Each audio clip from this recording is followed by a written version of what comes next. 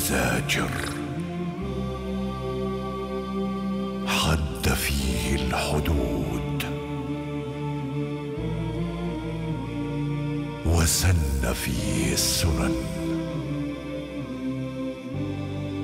وضرب فيه الأمثال. وشرع فيه الدين.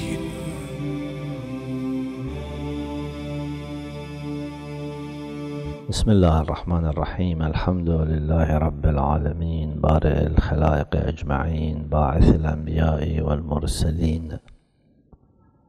ثم الصلاة والسلام على سيدنا ونبينا وحبيب قلوبنا أبي القاسم المصطفى محمد. وعلى أهل بيته الطيبين الطاهرين الأبرار المنتجبين سيما خليفة الله في الأراضين. واللعنة الدائمة الأبدية على أعدائهم إلى يوم الدين ولا حول ولا قوة إلا بالله العلي العظيم. يقول الله تعالى في كتابه الكريم هو الذي أنزل عليك الكتاب منه آيات محكمات منه آيات محكمات هن أم الكتاب وأخر متشابهات. فأما الذين في قلوبهم زيغ فيتبعون ما تشابه منه ابتغاء الفتنة وابتغاء تأويله. وما يعلم تأويله إلا الله والراسخون في العلم. يقولون آمنا به كل من عند ربنا. وما يذكر إلا أولو الألباب.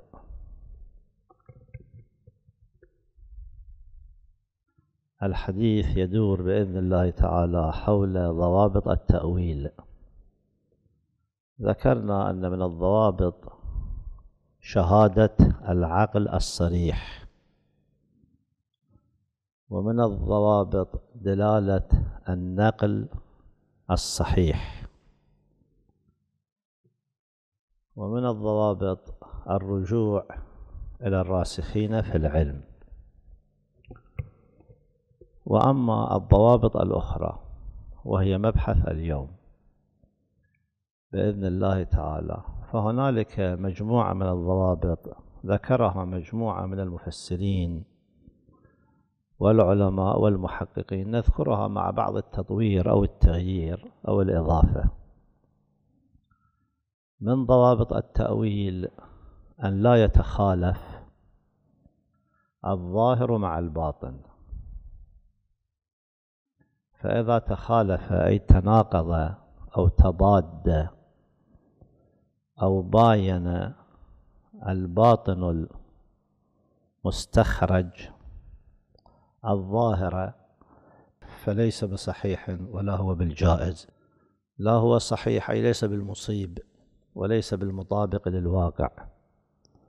ولا هو بالجائز أي يستحق فاعله الإثم والعقاب أي يستحق فاعله العقاب لكونه مأثوما. إذا هذا ضابط من الضوابط أن لا يتخالف الظاهر مع الباطن وأن لا ينقض الظاهر الباطن إذ وما أرسلنا من رسول إلا بلسان قومه فالظواهر إذن حجة بلا شك. هذا الباطن عليه أن لا يخالف الظاهر الذي هو حجة مسلمة بلا شك. فهذا هو الضابط الأول في حديث اليوم. الضابط الثاني أن تكون هنالك مناسبة قريبة لا تكفي صرف المناسبة بل أن تكون هنالك مناسبة قريبة بين الظاهر وبين الباطن المدعى سبر أغواره فهذا هو الضابط الثاني أن تكون هنالك مناسبة قريبة.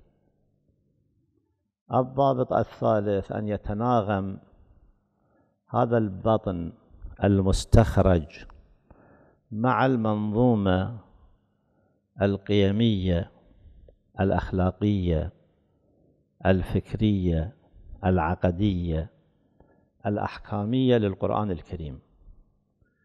وللمستفاد من الشريعة الغراء.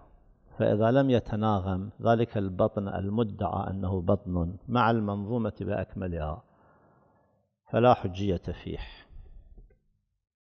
الضابط الرابع وستأتي الأمثلة إن شاء الله. الضابط الرابع أن تكون هنالك قرينة عرفية أو عقلية قطعية على ذلك الباطن. ولا يكفي أن يكون هنالك مجرد آه، استحسان أو مجرد ذوق أو مجرد تطابق أو مجرد مؤيدات أو قبل ذلك مجرد إشعار.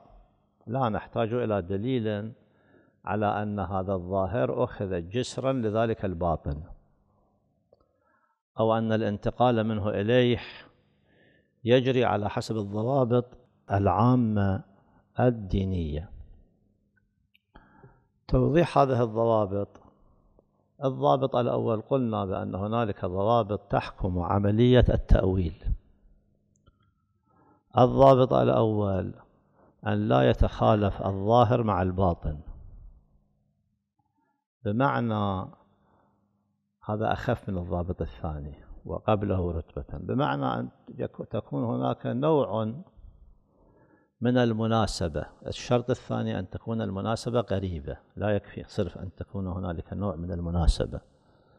فهذا هو الوجه الإيجابي وذاك هو الوجه السلبي. أن لا يكون هناك تخالف بل أن تكون هناك مناسبة ما بين الطرفين. نذكر لذلك مثالين. أحد المثالين من تفسير البرهان والثاني من تفاسير بعض الصوفية. أما في تفسير البرهان في مقدمته المفصلة اللي هي من المقدمات اللي هي تستوعب مجلدا كاملا وهي في حد ذاتها تشكل فد كتاب مرجعي مهم مع قطع النظر عن اختلافنا معه في بعض تأويلاته. يبدو أنه لم يقم بدراسة متكاملة للضوابط التي ينبغي أن يكون عليها التأويل. فكانت بعض تأويلاته على مقتضى القاعدة لكن بعض التأويلات الأخرى كانت على غير مقتضى القاعدة. إذ خالفت القاعدة الأولى اللي هي قاعدة مسلمة. مثلا في قوله تعالى لا تقتلوا الصيد وأنتم حرم. الباطن ينبغي أن لا يكون مخالفا لهذا الظاهر. من جهة. من جهة ثانية ينبغي أن يكون له بعض التناسب آه، ولا يكون على خلاف ما يستظهر من الآية الشريفة بشكل واضح. يقول الصيد هو الحيوان الممتنع. هذا تعريف للصيد. ولم يكن له مالك. ولا إذا له مالك ببيته فما يصير تروح بيت الناس تصيد فشي تقول صدته ما يسموه صدته المجاز مو صحيح. هو الحيوان الممتنع ولا غير الممتنع ما يسموه صيد. ولم يكن له مالك قبله. ولم يكن حراما أيضا. هذا قيد شرعي. يعني مو تصيد الصيد اللي لا يجوز صيده كالخنزير مثلا. لأنه ليست له فائدة محللة مقصودة مثلا. ولعله مأخوذ مقصود هذا الأخير في عرف أهل الشرع هذا. ولعله يمكن تأويله والله يعلم بالصرف أن يقول الإنسان والله يعلم لا يسوغ للإنسان أن يؤول. ولعله يمكن تأويله والله يعلم بحسب تناسب المعنى العرفي طبعا ماكو تناسب المعنى العرفي الذي سيأتي. وورود تأويل وورود تأويل أشباهه من المنافع والمكاسب. فيستخدم السياق لكن أسوأ أنواع السياق. السياق القرآني ليس بحجة كما هو المعروف لأن الآية يكون أولها في شيء آخرها في شيء وهو كلام متصل يتصرف على وجوه. فكيف بأنه القرآن في مكان استعمل مفردة في معنى مجازي لقرينة؟ فنقول هاي المفردة الثانية تفيد نفس ذاك المعنى المجازي رغم عدم وجود القرينة هذا ما حد يقبله. يقول ولعله يمكن تأويله. والله يعلم بحسب تناسب المعنى العرفي وورود تأويل أشباهه من المنافع والمكاسب نؤول شنو؟ بالمنافع والنعم المعنوية كالعلوم. يعني الصيد يعني العلوم. يعني الصيد هو اصطدت تقول صيد الفوائد. فهو هناك صيد الفوائد صحيح بس الآية ما تقبل التفسير التأويل بأي وجه من الوجوه كما سيظهر. كالعلوم وأمثالها أو المنافع التي اعتبرها التي اعتبرها الله وأحلها لأوليائه. فهذا التأويل الأول أنه الصيد يعني المنافع. ربطه بالآية الشريفة تقول لا تقتلوا الصيد وأنتم حرم. الآية تتكلم عن الحاج وعن قتل الصيد ومن قتله منكم متعمدا بقية الآية الشريفة. ومن عاد فينتقم الله منه. يقول كالعلوم وأمثالها أو المنافع التي اعتبرها الله وأحلها لأوليائه. الكلام كله في التحريم مو في التحليل في الصيد. وربما أمكن تأويله أيضا المتناسب لا يتناسب أصلا. كونه بالنسبة إلى الوحوش هداية أصناف المخالفين بل بقتلهم أيضا. لا تقتلوا الصيد وأنتم حرم شلون واحد يفسر بهداية المخالفين. الصيد في حد ذاته في مكان واحد يسميه يكني به عن هداية الناس ما يخالف.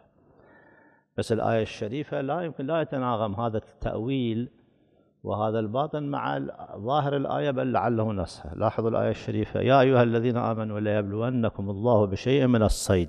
تناله أيديكم ورماحكم. شلون هذا يطبق على الفوائد والمنافع والعلوم؟ تناله أيديكم ورماحكم. إلا هذا ما يريد يوجه يقول رماحكم يعني الرماح المعنوية. الرماح الفكرية فيصير فتشي يعني شوية كلش خلاف الذوق. فرضا هذا واحد قبله البقية إيش يقول؟ يا أيها الذين آمنوا الآية اللاحقة لا لا تقتلوا الصيد وأنتم حرم. لا تقتلوا الصيد وأنتم حرم.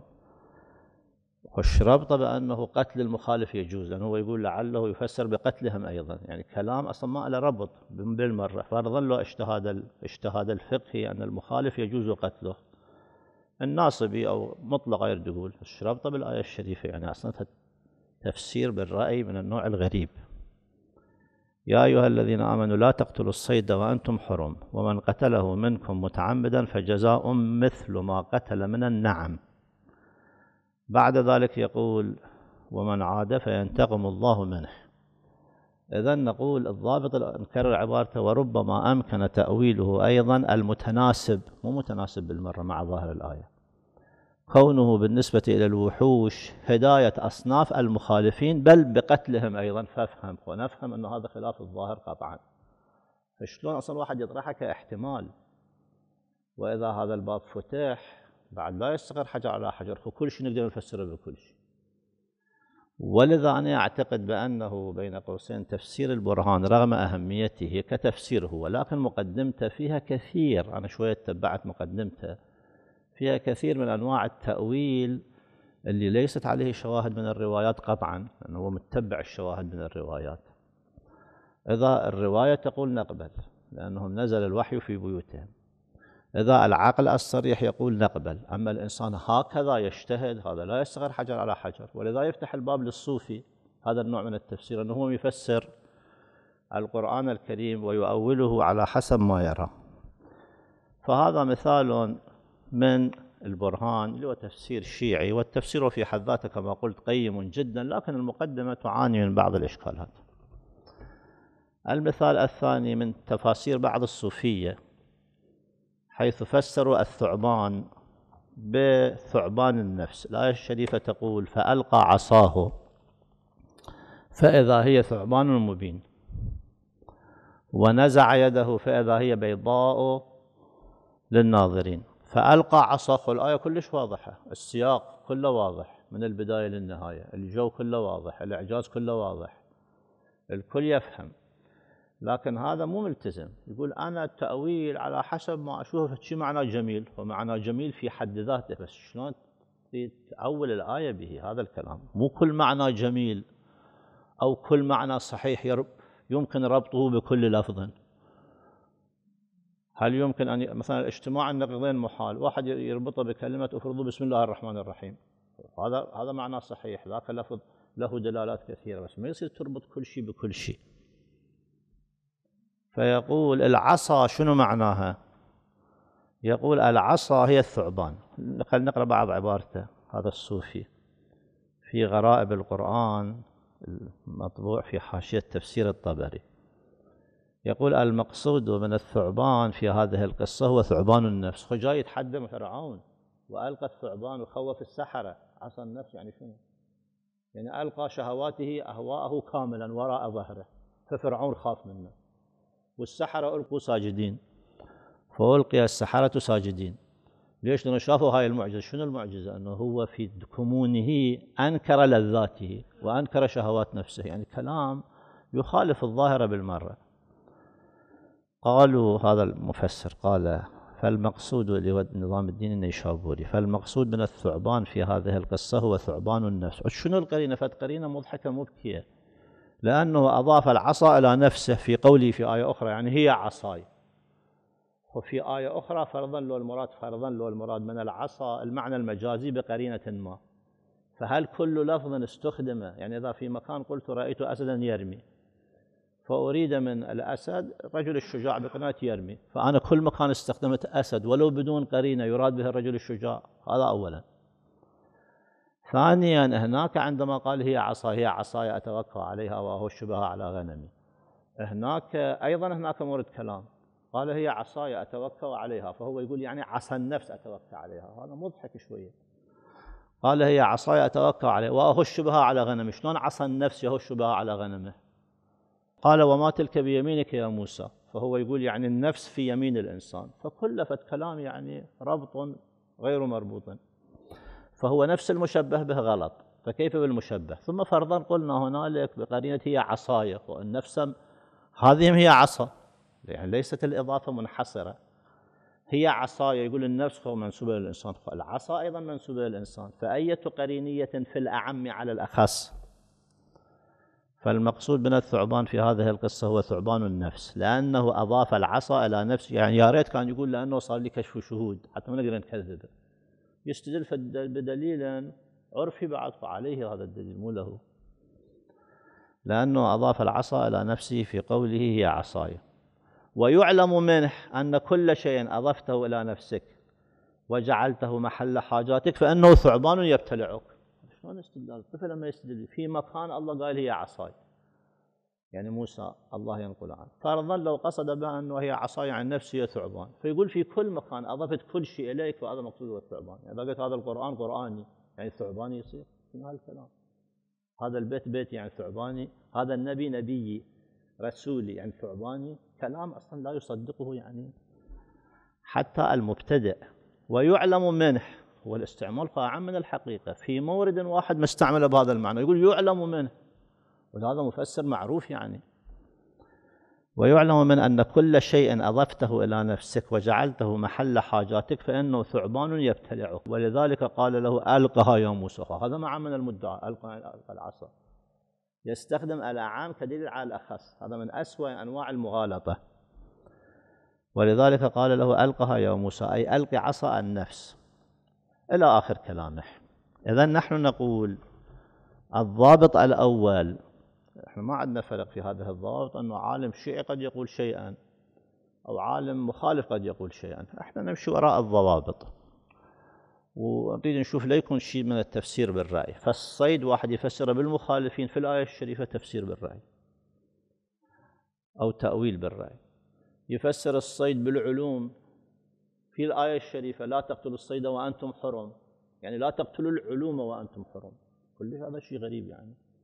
فلا يصح ذلك بأي وجه من الوجوه. فهذا هو الضابط الأول أن لا يتخالف الباطن يعني الباطن المدعى الباطن التأويل مع الظاهر.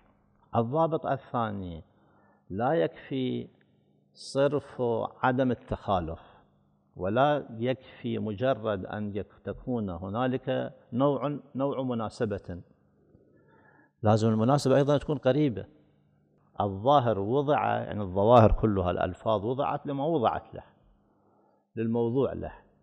فأنت تريد من هذا اللفظ الموضوع لمعنى تستكشف معنى باطني لم يوضع له اللفظ. فلازم تكون قرينة عليه لازم يكون هناك تناسب قريب في هذا ضابطنا الثاني. فإذا لم يكن هنالك ضابط قريب فلا وجه له. هنا ننتقل أيضا للبرهان. البرهان أيضا. أنا استغربت منه عندما راجعت أنصافا بادل فجه الجبار في استقراء مفردات القرآن الكريم. مجلد كامل ملأ به هذه المفردات أنه من كل فج عميق. فج يعني شنو تأويله؟ فكل موارد التأويل متبعها. وقد أجاد في 90% 80% إنما الكلام في تلك الموارد التي شط فيها عن الظاهر. مثلا في قوله تعالى الفرج والحافظين فروجهم والحافظات. أو والتي أحسنت فرجهم المعنى واضح. والحافظين فروجهم يبتعدون عن الزنا وعن أي معصية ترتبط يعني بالفرج. والحافظين فروجهم والحافظات. والتي أحسنت فرجها فنفخنا فيها من روحنا وجعلناها وابنها آية للعالمين. زين التأويل لازم يكون ذوق على الأقل به. رواية ما أكو الحمد لله في المقام. شوية ذوق خلي يكون شوية مناسبة قريبة. والحافظين فروجهم والحافظة شلون يفسرها؟ يقول بأنه آه، الفرج نفسره يقول الفرج بسكون الراء مفردا وجمعا وهو معروف. وقد مر في الأذن أو في الإذن كلاهما ممكن. ما يدل على أن الله تعالى هذا أيضا قياس مكان على مكان آخر من وجه من غير وجه جمع. فرضا لو لفظة في مكان أفادت معنى بقرينة فأي ربط لذلك بلفظة أخرى؟ اللطيف هذا كلش غريب. الإذن أو الأذن مفسرة بمعنى. يقول إذا الفرجة نفسره بذاك المعنى لأن هناك أكو قرينة. ما يدل على أن الله تعالى فرض الإيمان على جميع جوارح الإنسان. لا شك فيه. كل جوارح الإنسان عليها الإيمان. يعني نوع قسط من الإيمان يرتبط اللسان الإقرار. النظر أفرض النظر إلى وجه العالم عبادة إلى الكعبة عبادة. هاي مراتب الإيمان يعني. وما أشبه. توضيحا لكلامه. السمع أن يسمع لا يسمع الغيبة وما أشبه ذلك بل يستمع إلى قراءة القرآن وغير ذلك. ما يدل على أن الله تعالى فرض الإيمان على جميع جوارح الإنسان ولا يخفى أن منها الفرج وما يخالف ما هو عصمة الفرج وتحصينه؟ يحصينه من الزنا وأشباهه. فعلى هذا ربما أمكن لا يمكن. شلون يمكن؟ على هذا ربما يعني في مكان قيل شيء يقال في مكان آخر شيء آخر. فعلى هذا ربما أمكن تأويل تحصينه وحفظه ونحو ذلك بقبول الولاية. شنو هالكلام؟ والحافظين فروجهم يعني الحافظون ولاية أمير المؤمنين عليه السلام. قبيح هذا التأويل. هذا شلون حكي؟ من عالم جليل كبير. أو مثلا والتي أحسنت فرجها أحسنت فرجها يعني حفظت ولاية علي بن أبي طالب عليه السلام شو الكلام يقال أصلا؟ والتناسب قريب لازم يكون أكو التناسب كلي في مكان آخر. هو كلام. أما هاي الآية تفسرها بهاي الطريقة تأولها مو كلام يعني لا وجه له. بس هو المس يعني هو الرجل العالم الفاضل ذهنه مستغرق بالتأويلات المختلفة فمعتبر نفسه مجتهد. الراسخون في العلم يؤولون يؤولون بس أنا منو حتى أؤول من كيفي على خلاف ظاهر الآية. ماكو تناسب أصلا بالمرة. يقول فعلى هذا ربما أمكن تأويل تحصينه وحفظه ونحو ذلك. في الآيات المختلفة يعني بقبول الولاية وترك إبرازه واستعماله فيما لم يرضى الله له به وما نهى عنه وما نهى عنه من الزنا واللواط وما أشبه. بس مو من الولاية. من إنكار الولاية؟ هذا أصلا ماكو تناسب ماكو سنخية ماكو ذوق. وما نهى الله عنه من التمسك مع التمسك بالولاية. ولهذا بيناه في الجلود أن شهادته يعني أيضا يربط شيء بشيء بالجلود قلنا شهادتها هي كذا فش ربط هذا مع تفسير الفرج في المقام. الأذن أو الإذن معناته شيء. وطاعته شيء. الجلد شهادته شيء. أنه تشهد جلودهم عليهم. ربط هذا بتفسير هذه المفردة في هذه الآية الشريفة. بيناه في الجلود أن شهادتها على صاحبها لأجل ترك الولاية. وما يخالف فرضا هناك أكو رواية له وجه له ذوق أن الجلود تشهد على الإنسان لأنه ترك ولاية أمير المؤمنين عليه السلام له وجه بس الفرج نفسر بذلك. لأن الجلود فسرت في بعض المواضع بالفروج. وإذا فسرت في بعض المواضع بالفروج فمجاز هناك قرينته كيف تستخدم هذا المجاز هنا بدون قرينة وبدون ذوق؟ بعدين استشهد اللطيف تفسير القمي عليه. تفسير القمي أكو احتمال أن يكون رواية يعني بعض كلماته. يقول شوف تفسير القمي وتفسير القمي عليه.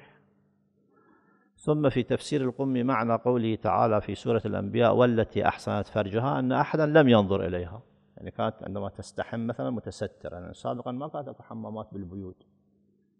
فالمرأة وين تستحم بالصحراء مثلا؟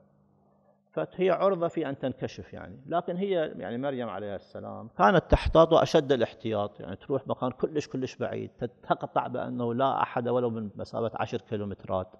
فمثل هذا طبعا. معنى معقول يعني تفسير القمي إيش ربط بكلامه بل هو عليك وليس لك.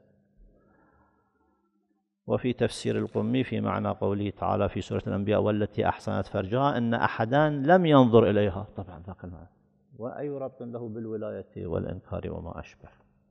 فإذا هذا هو المطلب الثاني. إذا الضابط الأول أن لا يكون هناك تخالف بين الظاهر والباطن. الضابط الثاني أن تكون هناك مناسبة قريبة ومو مجرد مناسبة بين الظاهر والباطن. الضابط الثالث أن ينسجم هذا التأويل أو الباطن مع المنظومة القرآنية. المنظومة القيمية المنظومة الأحكامية المنظومة الروائية أيضا لا أن يتخالف معها. هذا هو ضابط ثالث. نذكر له أيضا مثالا لطيفا. لاحظوا ذولا بعض الحداثويين من هذا الطرف لأن الحداثويون على أقسام فجايين مأولين القرآن بدون لحاظ هذا الضابط مع قطع النظر عن الإشكالات الأخرى على كلامهم. يقول عندما مثلا يقول عندنا مصطلح في القرآن الكريم الدنيا والآخرة بعد. هذا مصطلح ملأ أرجاء القرآن الكريم إن صح التعبير وامتلأت به الروايات الدنيا والآخرة. فالدنيا واضح الحياة الدنيا الآخرة مثل الآخر وأن الدار الآخرة لهي الحيوان لو كانوا يعلمون. فهذا باب التأويل فاتحة بعد بدون ضوابط. يقول المراد من الدار الآخرة الدار العليا. شنو المراد بالدار العليا؟ الاشتراكية. الاشتراكية هي أرقى درجات النظام الإنساني. والمراد من الدنيا يعني الرأسمالية إذا إحنا نفتح باب التأويل هذا يصير معناته وهذا يفسر فد مرة الفرج بهذا المعنى هذا يفسر الدنيا والآخرة بذاك المعنى. يقول الدنيا هي الرأسمالية لأنها انحطاط وتخلف وتدهور وفساد وجشع وطمع وانتهازية ومكيافيلية وغير ذلك. وفي المقابل الاشتراكية هي الجنة. فإذا كلما ورد في القرآن الكريم هاي كلمات متعددة من أقطابهم يعني المفسرين يعتبروهم كلش يعني من الدرجة المهمة جدا عندهم. يفسر الدنيا كل ما ورد من الدنيا بالرأسمالية كل ما ورد الطرف الآخر من أنه مسلك العكس لازم يعكس بعد. يقول بأنه الدنيا يعني الاشتراكية. يعني شفتوا شلون دمرت الاتحاد السوفيتي وما أشبه ذلك. والآخر يعني الرأسمالية لأن شفتوا اليابان شلون متطورة. يعني يصير القرآن والعياذ بالله أداة يستخدمها كل إنسان في كل باطل له أو ما يدعي أنه الحق. إذا من الضوابط أن ينسجم هذا التفسير أو هذا التأويل مع المنظومة القرآنية المجموع من حيث المجموع مع قطع النظر عن كل مفردة مفردة. المجموع عندما نقرأ القرآن الكريم بوضوح يظهر لنا ولكل شخص حتى لو جاي من المريخ يشوف الدنيا يعني هاي حياة الدنيا الآخرة يعني الآخرة يعني ما بعد الموت. وليس أن الدنيا يعني اشتراكية أو رأسمالية أو مثلا أفرض كذا شيء ذاك يفسر بالرجعيين. الدنيا يعني الرجعيين الأخرى يعني شنو؟ يعني الحداثويين يعني ذول المتطورين يعني ذول الهرمنيوطيقيين وغير ذلك. مثال آخر من الأمثلة. الأمثلة كلش كثيرة في هذا الحقل. مثلا يقول بأنه الذين يؤمنون بالغيب هذا أيضا تفسير آخر. الذين يؤمنون بالغيب يعني شنو الذين يؤمنون بالغيب؟ مو تتصور يعني غيب بالفعل أكو وأكو شهود وأكو غيب. وإنما المراد من الغيب يعني المراحل الأولية لنضج الثورة التوحيدية. هذا الغيب. لما تشوفه أنت المراحل الأولية لنضج الثورة التوحيدية. وزمن حصول التحولات الكمية لأن هم يقولون تصير تحولات كمية في عملية التغيير الاجتماعي والثورة الاجتماعية. إلى أن تصل إلى نقطة يتحول الكم فيها إلى كيف؟ فندخل في عالم جديد. فالكم يولد الكيف. فهنا هذه المراحل الأولية السابقة. هذا الباب كما قلنا إذا فتح لا يستقر حجر على حجر. إذن الضابط الثالث هو أن يتناغم هذا التأويل مع المنظومة القرآنية القيمية والمعرفية والعقدية والأحكامية وغير ذلك مما سبق. الضابط الرابع أن تكون هنالك قرائن تتجاوز مرحلة الإشعار ومرحلة التأييد إلى مرحلة أن تكون قرينة عرفا يعني تكون دليل. فإذا كان على هذا الباطن قرينة ما يخالف نقبل. وإلا لا نقبل. أيضا مثلا يقول في قوله تعالى وفرش مرفوعة. إنا أنشأناهن إنشاء فجعلناهن أبكارا عربا أترابا. الآية الشريفة عن الجنة تتحدث وتتحدث عن أكواب موضوعة وفاكهة كثيرة لا مقطوعة ولا ممنوعة وفرش مرفوعة. لأن الآية كلش واضح تتكلم. تتكلم عن نعيم الجنة اللي من جملة الأكواب من جملة الفاكهة وفاكهة كثيرة لا مقطوعة ولا ممنوعة وفرش مرفوعة. إنا أنشأناهن إنشاء فجعلناهن أبكارا. ماذا يفسر الفرش المرفوعة ويؤول يقول الفرش المرفوعة المراد بها حكم الأئمة وفوائد كلماتهم. إذا هذا ورد كما قلنا في رواية ما يخالف يعني من الممكن أن الله سبحانه وتعالى يريد بلفظ غير معناه الظاهر ويكني لكن هاي الكناية مو عرفية بالمرة. وكل جو الآية يشهد بالخلاف فواحد من نفسه يتبرع بمعنى باطن تفسير بالرأي بلا كلام. لاحظوا عبارته. يقول وفرش مرفوعة وسيأتي هناك التفسير بالجور وبغيرها. وقد بينا في الوجه الرابع من الفصل الثالث من من المقالة الأولى من المقدمة الأولى اللي أنا راجعتها هناك ماكو شيء يغني ويسمن إطلاقا. احتمال ماكو احتمال ما يمكن واحد يحتمل حتى حتى احتمال ماكو أصلا. ولا واحد يحتمل كل لفظ وبعدين يكتبه في كتابه كل لفظ يدل على كل معنى. نقول نحتمل أن الدنيا المراد بها الاشتراكية والآخر المراد بها الرأسمالية أو نعكس. ماكو مجال للاحتمال أصلا. يعني الاحتمال ما يصير مبرر. أصلا ما ما له حق واحد يحتمل. احتمالا على خلاف الظاهر يريد به باطنا وليس بالعرفي بالمرة. مو بحث عقلي خو بحث ظواهر ألفاظ. بحث خطر تفسير القرآن بالرأي فالاحتمال أيضا خطأ. واحد لا يقول أنا أحتمل. ذكرنا احتمال تأويلها بما يتلذذ به المؤمن في الدنيا من حكم الأئمة وآدابهم ونحو ذلك. ويؤيده ما سيأتي في اللباس. أي تأييد. فرضا لو اللباس فسر بلباس العلم. وأنت تفسر الفرش المرفوعة يعني حكم الأئمة. كما قلنا مرة ثانية وأكرر أنه لو اللفظ له معنى مجازي فاستخدم نفس اللفظ في المعنى المجازي بقرينة فإنه لا يكون قرينة على أن هذا اللفظ إذا استعمل في موطن آخر بدون تلك القرينة يراد به المعنى المجازي. فكيف إذا كان لفظان مختلفان؟ يعني اللباس أريد به معنى مجازي فنقول الفرش هم يراد به نفي ذاك المعنى المجازي. فالمضاف إليه صار قرينة على أن المراد اللباس لباس التقوى. بس إذا الله استخدم اللباس في مكان آخر نقول بدون هذه القرينة نقول أيضا المراد به اللباس التقوى قد يكون المراد به لباس العلم. قد يكون المراد به هذه الملابس كما هو المعنى الظاهر. فكيف بالفرش؟ إذا قال فرش العلم مرفوعة فرش الحكم مرفوعة ما يخالف. ماكو شيء يعني. فهذا المؤولين وقعوا في هذا الخطأ أنه لفظ أكرر أنه لفظ له معنى حقيقي استخدم في معنى مجازي بقرينة أخرى فلفظ آخر مبا... ما آخر مباين له تماما يقول إذا مراد به المعنى المجازي أيضا بلا قرينة. فهذا إذا هو الضابط الرابع. الضابط الخامس لا يكفي هذا ضابط مهم وقع فيه الكثيرون حتى المتأخرين أشوفهم كثير في كتبهم موجود هذا. الضابط الخامس لا يكفي صرف التطابق. يعني لو فرض أن آية شريفة تطابقت بحروف الأبجد مع معنى هذا ما يصير بعد قاعدة عامة أنه كل آية قرآنية كريمة نفسر بحروف الأبجد. هل وردت الرواية عن النبي صلى الله عليه وآله أن القرآن كل كلماته كل آياته فسر بحروف الأبجد؟ لو كان يقول على الرأس والعين. كل كلمة خب يصير تفسر بحروف الأبجد. منو قال بأن الله سبحانه وتعالى أراد بقول هو الله أحد حروف الأبجد؟ يعني ما يعني ما يعني حروف يعني نفسرها بحروف الأبجد ثم حروف الأبجد نطبقها على جملة ثانية فنقول هذا هو ذاك. إذا رواية أكون أقبل. مثلا فهسه التفاسير مهمة دا أنقل منها. يعني مو كلامنا صح في الإتقان موجود هذا اللي الآن أنقله في الإتقان في علوم القرآن هناك يقول بأنه إذا زلزلت الأرض زلزالها. هذه شنو نأولها؟ نأولها بزلزال عام 702 عام 702 صار زلزال يعني بعدين علمنا نحن متأخرين يعني الاتقان متأخر.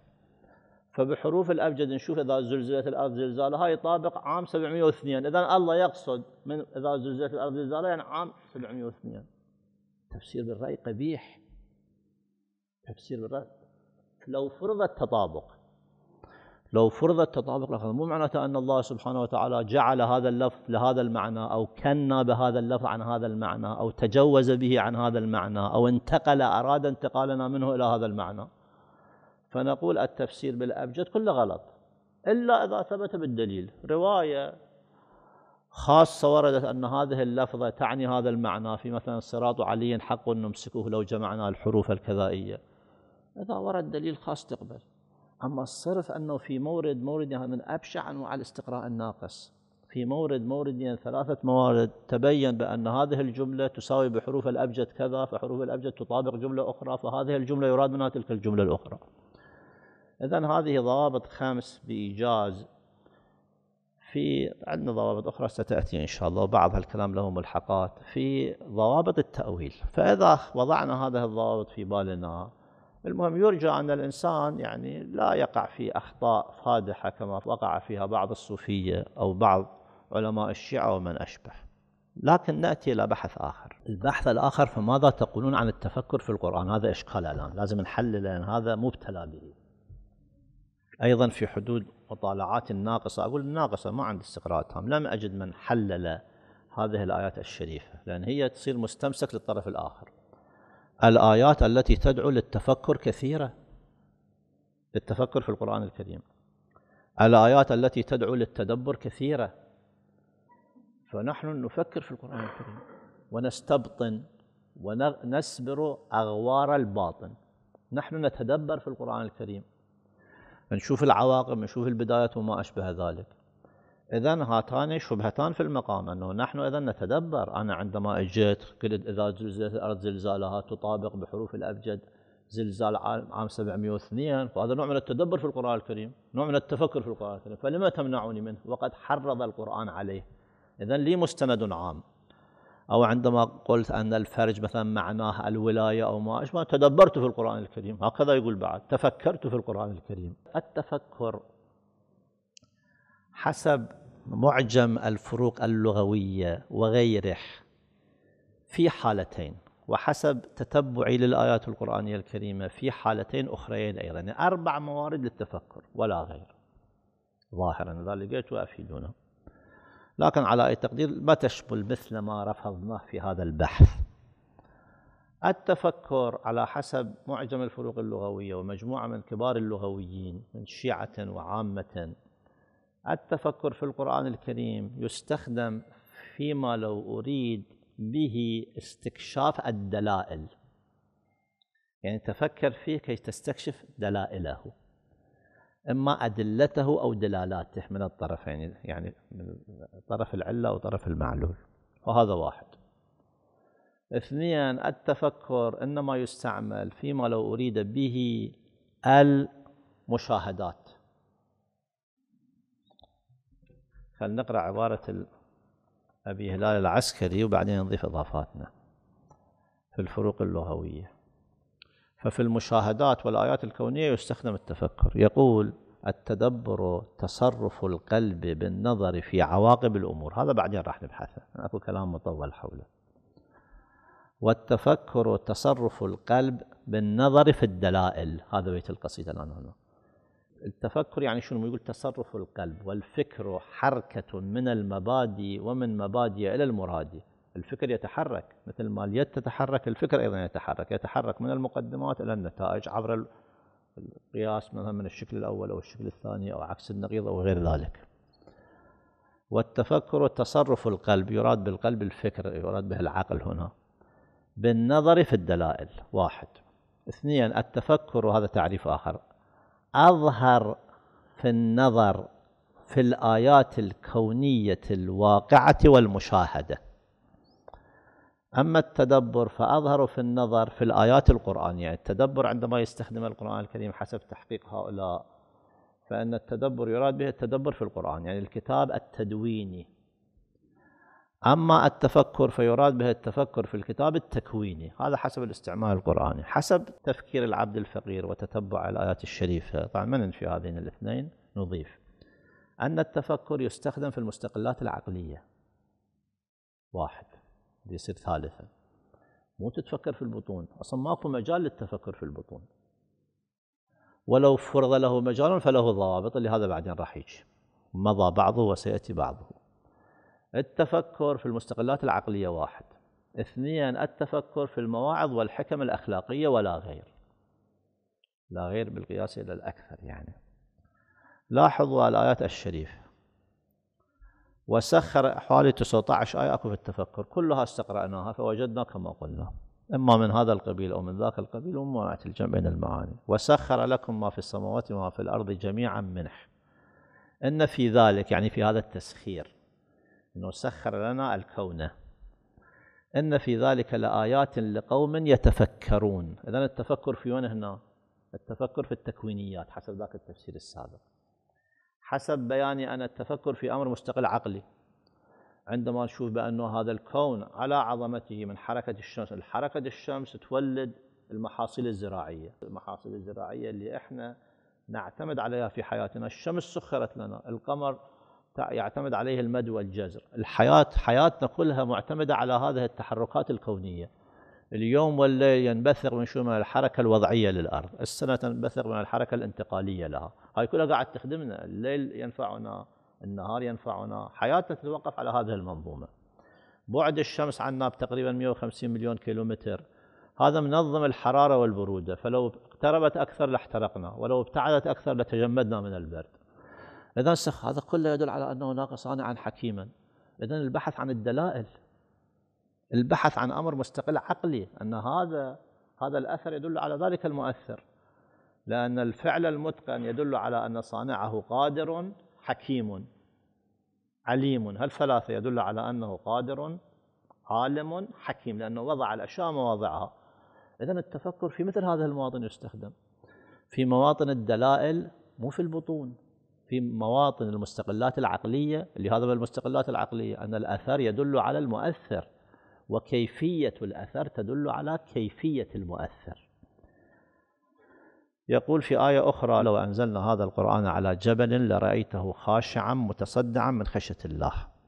وتلك الأمثال نضربها للناس ليش؟ لعلهم يتفكرون في مقام الموعظة وفي مقام المستقل العقلي. والبحث البحث عن مستقل عقلي البحث عن موعظة ولا غير ذلك. ماكو استبطان هنا وندخل في بطون ونريد نفسر هذا البطن بذاك البطن. لاحظوا بعض الآيات القرآنية الكريمة الأخرى. يقول تعالى فاقصص القصص لعلهم يتفكرون. هي الآية الشريفة أولها ولو شئنا لرفعناه بها ولكنه أخلد إلى الأرض واتبع هواه. فمثله كمثل الكلب إن تحمل عليه يلهث أو تتركه يلهث. ذلك مثل القوم الذين كذبوا بآياتنا. فاقصص القصص لعلهم يتذكرون. المقام مقام الموعظة واستكشاف البطون. هذا مثله يعني إياك أن تكون هذا البعيد وأي واحد منا أن يكون مثله. فالمقام مقام الموعظة. أي آية وردت في القرآن الكريم فيها مفردة التفكر فإما الحديث عن موعظة وإما الحديث عن مستقل عقليا. اللي تريد تستكشف يعني منبه في الواقع منبه للمستقل العقلي. المستقل العقلي ما يحتاج إلى استدلال منبه له منبه على أن الظلم قبيح. أو حسب تعبير ذاك العلم اللي ذكرناه أنه يتكلم عن المشا... عن الكونيات ليعود للمستقلات العقلية. يعني المستقلات العقلية في موطن الكونيات أو التكوينيات. الآية الأخرى أيضا مثل إنها مثل الحياة الدنيا. كما أن أنزلناه من السماء فاختلط به نبات الأرض إلى أن يقول كذلك نفصل الآيات لقوم يتفكرون. إذا الله سبحانه وتعالى يتكلم عن مشهد تكويني ويتكلم عن تمثيل فينقلك من مستقل عقلي إلى موعظة. فشوفوا الآية إنها مثل الحياة الدنيا كما أن أنزلناه من السماء فاختلط به نبات الأرض. مما يأكل الناس والأنعام حتى إذا أخذت الأرض زخرفها وزينت. وظن أهلها أنهم قادرون عليها. كلها موعظة. وكلها مستقلات عقلية. وظن أو بعضها. وظن أهلها أنهم قادرون عليها. أتاها أمرنا ليلا أو نهارا. فجعلناها حصيدا كأن لم تغن بالأمس. كذلك نفصل الآيات لقوم يتفكرون. ففكر في هذا الذي أقول لك. هذا اللي قاله لها لنا تعالى. ما هو؟ سلسلة من الأمور المستقلات العقلية من المشاهدات التكوينية ومن الموعظة التي تلي ذلك. ماكو بي بحث أن نستكشف فد بطن آخر لا يدل عليه اللفظ. وكذلك آيات أخرى كثيرة أيضا في الأمثال. أيود أحدكم أن تكون له جنة من نخيل وأعناب تجري من تحتها الأنهار وله إلى أن نصل وله ذرية ضعفاء فأصابها إعصار إلى آخره. كذلك يبين الله لكم الآيات لعلكم تتفكرون. تصير عظة لك. أنه كان له كل شيء فأعرض عن نعم الله ففقد كل شيء. نار فيها إعصار أصابته فاحترقت. فأبناء شنو صاروا؟ صاروا يتامى ومساكين وفقراء يتامى وفقراء. فإياكم أن تكونوا مثلنا وتكفروا بنعم الله. فالآيات الشريفة كلها في إما في مقام الموعظة أو في مقام التنبيه على مستقل عقلي أو ما أشبه ذلك مما مضى. إذا التفكر دائرته محدودة بالمستقلات العقلية أي من الآية ننتقل إلى هذا المستقل العقلي أي منبهة لنا فكر في هذا المنبه. وإما في دائرة موعظة أو ما أشبه ذلك وليس التفكر من مجالاته البطون. وآخر دعوانا أن الحمد لله رب العالمين وصلى الله على محمد وآله الطاهرين.